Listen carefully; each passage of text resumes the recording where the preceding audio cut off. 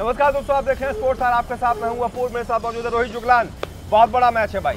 बहुत बड़ा मैच है आज CSK versus RCB Virat Kohli versus Mahendra Singh Dhoni. हालाँकि आप ऐसे करके बताइए ना। यार कभी सीरियस हो जाएगा मेरे भाई सीरियस खबर है यार। ठीक है ये हमेशा मज़ाक के मूड में रहते हैं। तो आर आरसीबी वर्सेस अब सी एस के फैंस हैं यार दुखी है थोड़ा परेशान है उनके सामने मज़ाक उड़ा रहे हो। दुखी है? तो वर्सेस कहाँ है? सीएसके क्यों? है? नहीं तुम बहुत खुश हो। तुम भी तो सीएसके के फ़ैन थे।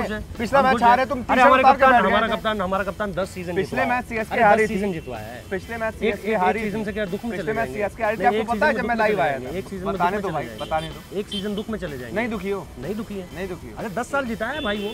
ठीक है। और कोई कप्तान है? तो खबर आसपास दोगे।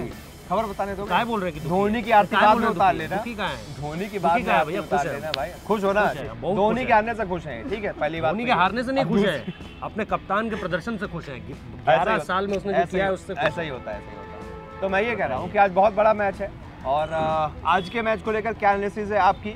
और क्या लगता है मतलब भाई धोनी को अब कम से कम ये एक इस, इस इस नोट के साथ अपना एंड ये करना पड़ेगा ये वाला कि कम से कम तीन मैच आखिरी के जीत जाए। कम से कम ये कोशिश तो रहे ना। वो कोशिश आपको लग रही है कुछ होती हुई। किसका पड़ला भाई लग रहा है मुझे सबसे पहले ये बताइए। मैं देखिए मैं इस मैच को प्योरली आरसीबी के कॉन्टेक्ट से देख रहा हूँ। हम्म, मैं अब चेन्नई क्या करेगा चेन्नई की तरफ़ से क्या होगा नहीं देख रहा हूँ मैं अब एज अ क्रिकेट फ़ैन इस टूर्नामेंट को देखना शुरू करूँगा।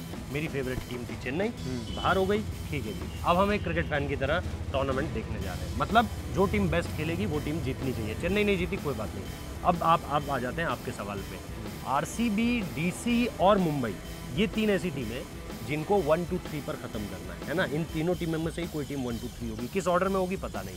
लेकिन लड़ाई अब दो की अपूर्व वो आप जानते हैं क्यों?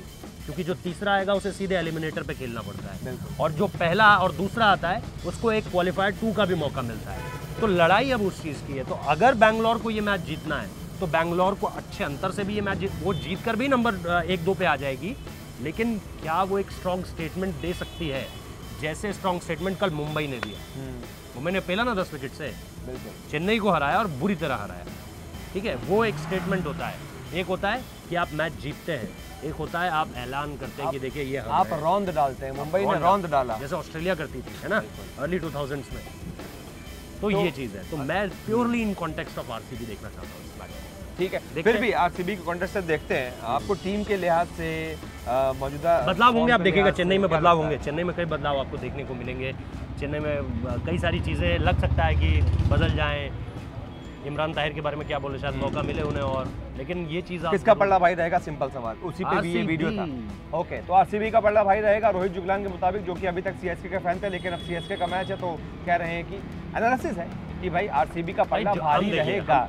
हाँ। हम इस पे नहीं जाते हैं कि कौन फेवरेट है और कौन ये है। हम ये देख रहे हैं कि ऑन दी गिवन डे कौन हाँ। अच्छा कर रहा है। और अभी पूरी सीरीज़ में भी कौन अच्छा कर रहा है। फ़िलहाल इस वीडियो को देखने के लिए आपका बहुत बहुत शुक्रिया। वीडियो को लाइक कीजिए शेयर कीजिए सब्सक्राइब कीजिए।